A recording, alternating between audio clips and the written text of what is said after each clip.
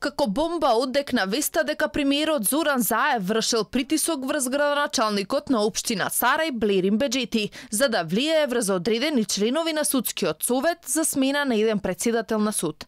Беджети тврди дека премиерот Заев му се јавил на 17 јули и му рекол дека треба да помогне да смени председател на суд и таа работа треба да биде завршена до септември.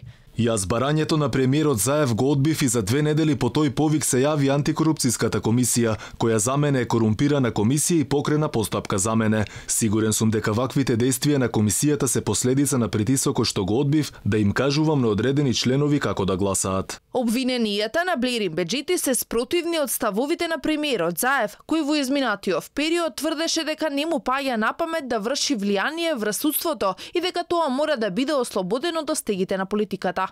Апсолутно не ми паѓа на памет да влијам на институции, судови, обвинители.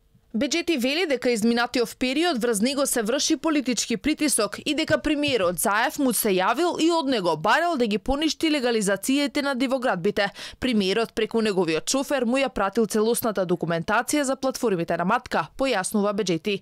Тој се закани дека доколку владата им ги одземе надлежностите за матка, ќе организирал референдум на кој по тоа прашање ќе се изјаснат жителите на Сарај.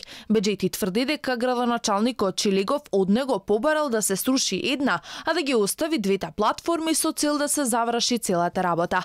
Реагираше и Шилегов, па појасни дека побарал да биде урната платформата која почна да се гради годинава, а за која градоначалникот Беджети тврдел дека постоела долги години наназад и дека се врши реконструкција. Тој додава дека општината Сарај не може да распишува референдум околу ингеренциите за кањонот Матка, бидејќи тоа е природно богатство кое припаѓа на сите граѓани.